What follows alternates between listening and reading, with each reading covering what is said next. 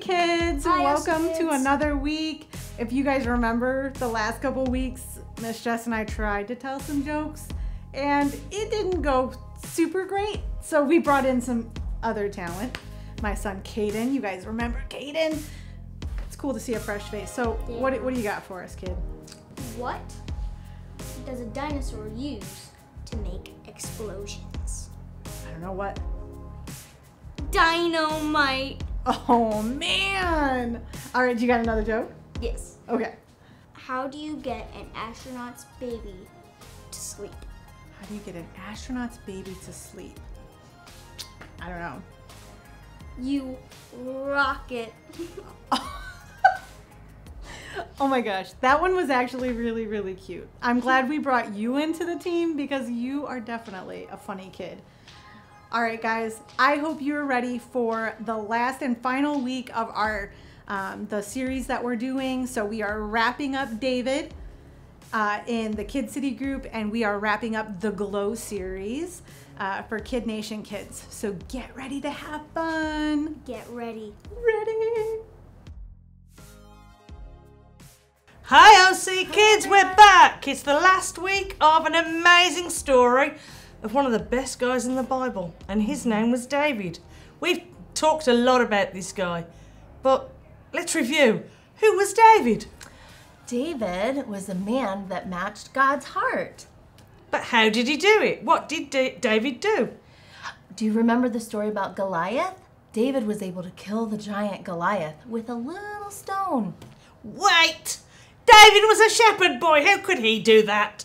Because his heart matched God's heart and he knew that God was going to help him. Wow, David was pretty strong, really, wasn't he? Mm-hmm. Pretty amazing. How can we match our, our heart to God's, though? Well, there's lots of ways. One of them is we could sing and praise and worship God. I got one! We can read our Bible. yes, staying in the Word. Wow. What's the last one we can do? Hmm. We have hands. What can we do with our hands? We can pray. Yay! Wait, I think I've got picture passes to clarify all of these, just in case no one's been listening or learning. wow. Well, first of all, I have a guitar. Why would I have a guitar? Because we can make music with guitars and worship God. Wow. But do you have to have a guitar to make music for God? No way. We could use our voices, we could use other instruments. Oh my gosh! What happens to your heart when you sing songs to God? Your heart can match God's heart, and it pleases God when we worship Him. Oh my gosh, I love this. Me too. We have the Bible, mm-hmm. best book in the world. Yeah. So, what does the Bible do? The Bible helps us understand God and His heart. Wow. So, when we read the Bible, our hearts grow to match God's heart. Exactly. And who do you get to know when you read the Bible? We get to know God. Oh my gosh, I love this. Is this how David grew? Yes, and we What? I love the Bible. Well, his hands. Again, what do we have to do with our hands? We pray. Wow, is that what is that what it's called when you talk to God? Mm-hmm. Oh my gosh. Wait, I have a question. Not everybody knows this answer, but when do you have to pray to God? You can pray anytime. No way. Yep, when you're happy, when you're sad, any time of the day. And can you pray for anybody? Anybody. We could pray for our friends. We could pray for the world. Oh my gosh. That's amazing. Yeah. So, so far we've reviewed that David killed Goliath, mm-hmm. David was a shepherd boy, we can use all these things to match our God, heart to God's. There's, a, Bi- there's got to be a Bible verse. There is. Let's see what guy the Bible guy's doing.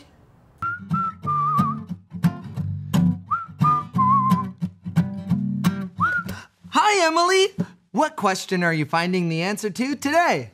How can your heart match God's heart? I get to know God.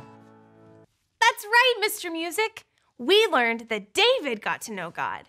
David got to know God by making new songs for God, like I do. Yowza palooza! I think I have a picture pass about that. Friends, which picture pass can make music? Friends, you're right. It's the guitar. I use a guitar to sing songs to God. Wait a minute. Can I still sing songs to God if I don't have a guitar? Yes, you can sing to God anytime and anywhere. Will you teach us a song about that? Of course. Friends, clap your hands together if you'd like to sing a song with me. I'm clapping my hands. Are you clapping yours? Okay, I'm gonna sing something and then you're gonna go ba bum ba bum, just like a heart. Ready? Let's do it. I match God's heart. Ba bum ba bum. I get to know God. Ba bum ba bum. Then my heart is ready. I can do good things. I match God's heart. Ba bum ba bum. I get to know God. Ba bum ba bum. Then my heart can do what is good. that was great.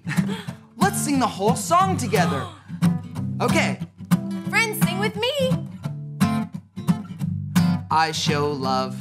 I show love. I have joy I have joy when my heart when my heart matches God's. matches God's. Oh, I am kind. I am kind. I do good things I do good things when my heart when my heart matches God's. matches God's. I match God's heart. Ba bump ba bump I get to know God. ba bump ba bump. Then my heart is ready. I can do good things. I match God's heart. Ba bump ba bump I get to know God. ba bump ba bump. Then my heart can do what is good. so much fun. I show love. I show love. I have joy I have joy when my heart when my heart matches God's. matches God's. Oh, I am kind. I am kind. I do good things I do good things when my heart when my heart matches God's. matches God's. I match God's heart. Ba bump ba bump I get to know God. ba bump ba bump. Then my heart is ready. I can do good things. I match God's heart. Ba bump ba bump I get to know God. ba bump ba bump. Then my heart can do what is good. then my heart can do what is good. Then my heart can do what is good. Yeah! now, stand to your feet to worship God with music, singing, and dancing. Now we've heard the Bible verse, now we've learned what our praying hands and our singing cat voices and everything we do about God, I think we should read the story. Let's get ready for story time. God looked in David's heart. God saw David's heart matched his heart. David was ready to do what was good. When everyone else was afraid of Goliath, David said, How dare he defy God's army? I will fight him. David was ready to do what was good. Mm. David said, I have the help of Israel's God. David's stone knocked Goliath down. David was ready to do what was good. David was ready to do what was good. David told Goliath, I have the help of God. David slung a stone at that giant. Wow. David was ready, finish with me, to do what was good. David trusted God's power. David's stone knocked Goliath down. And David was a hero. Wow! But wait, there's a moral to that story. Mm-hmm. David was always ready to do what was good. Yes, he So, was. So, kids, we have to learn from David. Always be ready to do what is good. good. Yep. Wow. So that's all we need to say about David this for this month, this week. I think we should pray together. Me too. Father God, we give you thanks and praise that our hearts can match yours. Let us sing, let us be in your word, let us pray ceaselessly. Let us join together and always be ready to do what was good. In Jesus' name we say, Amen. Amen. Again, that's all we have time for on David. But beforehand, we have dance party time with worship songs. And right after that, get ready for Kid Nation. Bye, guys. Bye.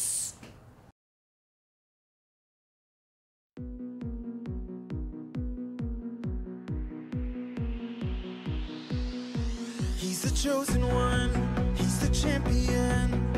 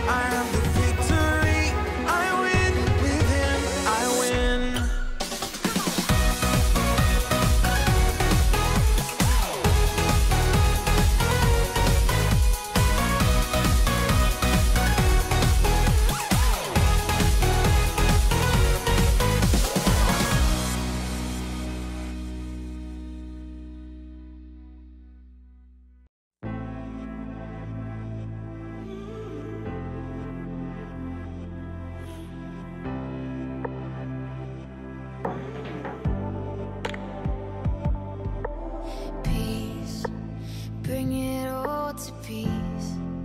The storm surrounding me, let it break. At your name, still call the sea.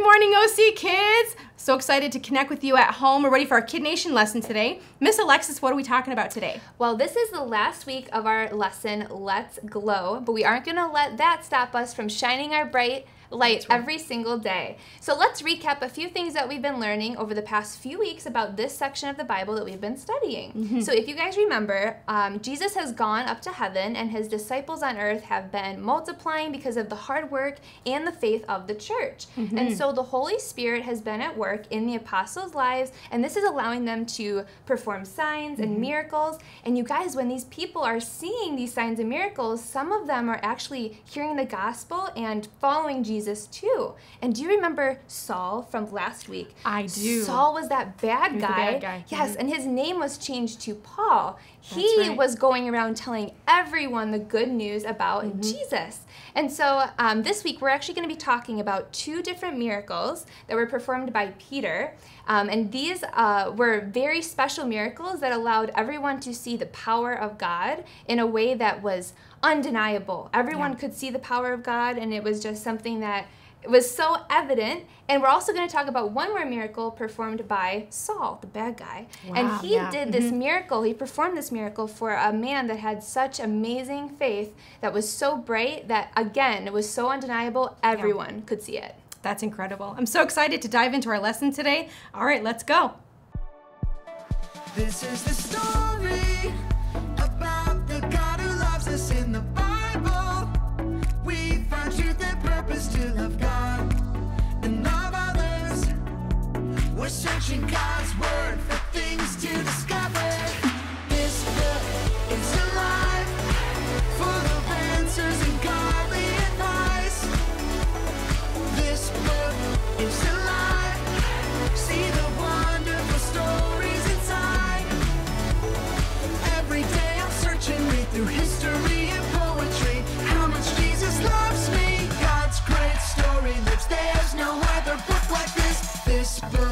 Is alive. Good morning, OC kids. I'm so excited to be with you today. I have a special friend that I'm going to introduce to you. Um, her name is Dr. Farfelbart, and she's been tuning in with us, and she has a special inve- invention. Um, hold on a second. Um, hi, Dr. Farfelbart. She's here. How are you doing? What's going on? Wait a minute. Come, come back up. Come back up there don't you look at um so i thought you've been tuning in each week. What are you scared of? Are you scared of something? What's going on? Well, isn't it obvious? It's the the uh, the, the, the, the, the, the, the kid the, the, the kids? yeah, the the kids. kids why? scary. you, okay you came here today knowing that we're going to be talking to all these kids today and and you've been tuning in each week. Why why are you scared It's, I just, I didn't realize how scary they'd be. they're not that scary Well, they're scary to me. okay all right well is this like your irrational fear of both light and the darkness Maybe. okay But I, I guess it will be okay as long as I keep a good distance between myself and the the the the the, the, the kids the kids. Okay. yeah. Okay. We're gonna keep a distance. Dr. Farfelbart's gonna show us her invention. It's gonna be amazing. I'm super excited. Okay, let's so let's talk about that. Um, it looks like I know you've been working on your top secret invention. Mm-hmm. Um, can you tell us a little bit more about it? Well, yeah, but I don't think y'all ready to see it. Huh? What do you mean? I I told you I'm ready to see it. I'm sure the kids are ready to see it. Are you ready to see it? Well, that's not exactly what I meant. I mean, if you're gonna see it, then you're gonna need some special eye tech gear um, to protect your eyesight because it's like it's really bright. Okay. Um It could make you go blind. really? Yeah, and then that will not be my fault. Are you sure? Because it's your invention. Yeah, but that's my warning. Oh. That's how bright it is. That's your warning. Okay. All right. Well, I guess. So can the kids see it?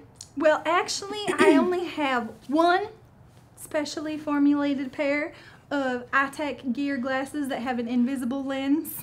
I I was super. So okay. only you can see Oh, it. okay. Oh, I was super y'all. excited for the kids to see it, but I guess I guess that's what I'm gonna have to do. I'm gonna have to see with these glasses here. Yes. Oh, okay, well, here you go, but I, I can't guarantee they're gonna work. What? That's that's that's comforting. At least I told you. Here Oh, you go. Mhm. Okay, here we go. All right, are we ready? Yep. Okay. Yep, let me go get it. Oh, yes, these are specially formulated glasses. What in the world? Do you need help? Dr. Farfelbart, she needs help. Okay. All right, here we go. so, right. So, can you see him? You can see. do you see my special invention? I see. This is copyrighted, patent protected. Don't try to steal it. Okay. I won't. I won't try to steal your copyrighted, patent protected Okay. invention. All right. So I'm just gonna lift it up a little bit, so you know, get get here, Okay. All right. so you can see it. Can you see it? You see? it? I'm just All gonna right. lift it up a little bit. Just a little bit. Okay. A little bit. All right. We Okay, ready? ready? All right. Here I go, kids. Ready? Okay. Here we go. Let's go. Ready? Whoa! Oh my gosh, my eyes! What is that thing? Ah! I warned you. Whew! That is so bright. Mm-hmm. Oh my goodness. Dr. Farfelbart, what did you why okay, I think you might need to work on your glasses a little bit. Well, I told you that I'm still working out all the kinks, of course, but Yes. it is going to be the world's brightest glow stick. I mean, you can see it for for miles, for for days, for weeks, for for years, and maybe centuries. It is so bright. so bright. Mm-hmm. So bright that it almost burned my eyeballs. But it didn't. It's uh that's la- that's a really cool concept, I'll tell you. But Mm-hmm. don't you think that a glow stick that requires such special eye gear to see it is quite kind of a bit dangerous? Okay, well, um, I think it still needs a little bit of work, Dr. Farfelbart. I guess I could tone down the brightness a bit. Just a bit. Okay, fine. Okay. A lot, but you just don't understand. I wanted to create something that people would talk about, that, that they'd be impressed with. I wanted it to be seen from miles. Well, I am so impressed by this invention. It is a very good invention, but I Are think it yes, I am. Okay. I think it just needs a little bit of work still. All right, all right. Okay, Well, all right. that's what I'll do. I, I Sounds better good. get going if I want to get this to the assembly Oh, line. Awesome. Thank you Pick so much. Here. Yep. Thank you yep. so much. Thanks for trying right. it out. All right. All right. Um here you go. Bye, Dr. Barfelfart. It's Sparkle Bart, dearie. Oh, sorry. I messed up her I messed up her name. It's not Farfel or it's not Barfelfart, it's Farfelbart. So, I'm so excited that we got to meet Dr. Farfelbart and she has a cool invention that shines bright and almost burned my eyeballs. Um, but we're gonna get today's story today and see how we can shine bright for Jesus. All right, Kid Nation, the first two miracles that we're going to look at today will be from Acts chapter 9, verse 32 for, through 43.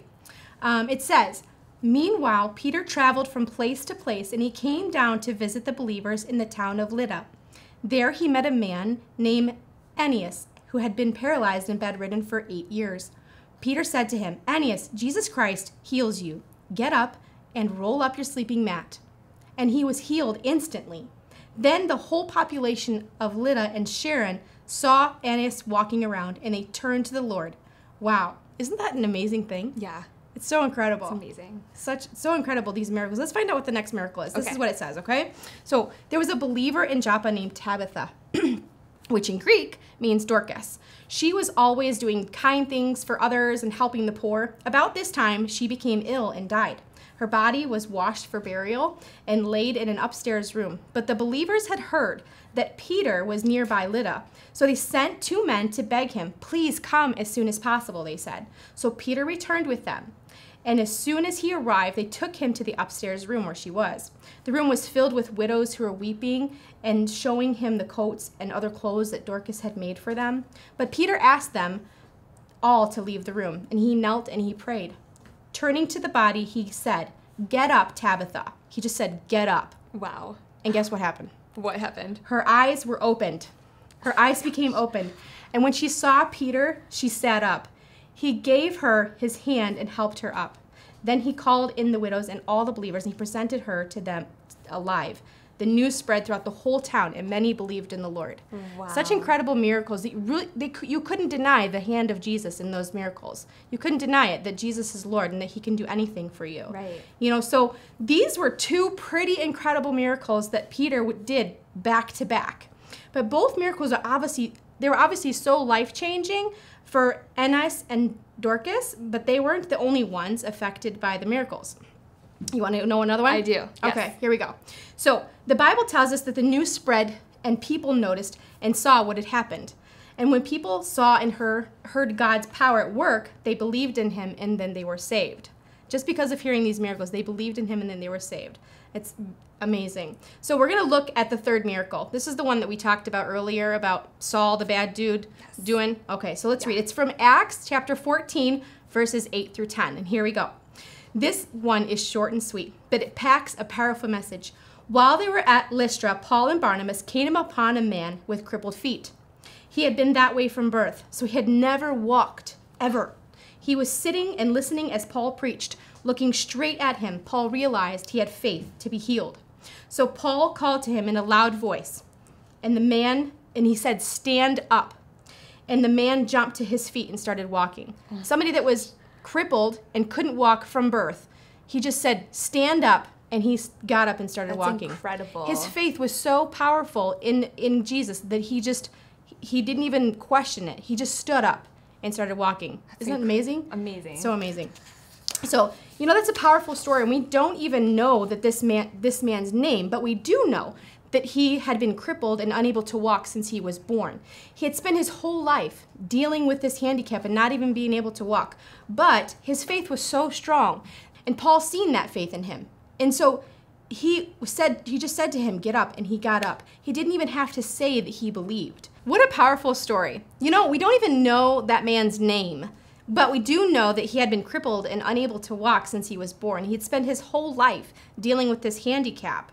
And you know, he had faith that was so strong. Paul could just look at him and know that he had faith to walk. Right. Isn't that incredible? So I would want somebody to just look at me and know that I had faith to believe in, in Jesus. And that's what this man had. So he told this man to get up and walk, and he did. And so when Paul told him to stand up, it didn't say doesn't say that he struggled, it doesn't say that he wobbled. It says he immediately jumped to his feet and he started walking. It was like he had been walking his entire life. God completely healed him in that exact moment. All right, we're going to go over this month's memory verse, wrapping up the Let's Glow series. Here we go, Miss Alexis. While I am in the world, I am the light of the world. That is John 9 5. You know, God wants his power to shine so brightly for every one of us to see and notice. Do you- do you know that he wants that for you too? Right, To yes. shine so bright that everyone notices. He wants us to live differently than other people. Um, each of us has God's power inside of us. If we ask Jesus to come into our lives, we can have that power inside of us to shine so brightly that others know exactly who we are. Even when we go through hard things, like the people that we talked about in the Bible that had those miracles, even we go when we go through hard things, God still wants us to know that he is there and that we can shine bright even through the hard times. I know it's been very hard these last couple months. We haven't seen each other, but God still wants you to shine bright to your friends and to your family mm-hmm. and to know that He's always there and He can always protect you and take care of you. You know, there's one thing that you can do for your friends, and that is lead them to the salvation prayer and asking Jesus to come into their heart so they can also know Jesus and um, have a relationship with Him. And so in Kid Nation, we do the ABCs of salvation. A, we admit that we have sinned. And B, we believe that Jesus died on the cross for our sins. And C, we confess with our mouth. And so today, to wrap up our Let's Go series, I want to pray that prayer of salvation and help you guys to know how to lead your friends in the prayer of salvation. And then also for us to be able to shine bright for Jesus in this time and um, know that He's always there for us. He's always going to take care of us and that we can have the courage to shine bright for Him. So, Miss Alexis, would you like to pray with me? Sure. Okay, so what we're going to do is I'm going to say this prayer. You're going to repeat after me, and then we're going to um, wrap up our lesson for today, okay? Yep. Dear Jesus, Dear Jesus, thank you so much thank you so much for dying on the cross for me. for dying on the cross for me. I know, Lord, I know, Lord, that I have sinned in my life, that I have sinned in my life. and sometimes And sometimes I don't do things I don't do things the way that I should. the way that I should. and sometimes And sometimes I don't listen to my parents. I don't listen to my parents. But Lord, but Lord, I ask you I ask you to come into my heart to come into my heart and help me and help me to know and do better. to know and do better. Lord, I love you. Lord, I love you. Be the Lord of my life Be the Lord of my life and guide me through each and every day and guide me through each and every day. and help me to shine bright for your kingdom. And help me to shine bright for your kingdom. Jesus, I love you. Jesus, I love you. And I pray this all in your name. And I pray this all in your name. Amen. Amen. Kid Nation, we love you and we hope you have an amazing day today. We will see you soon.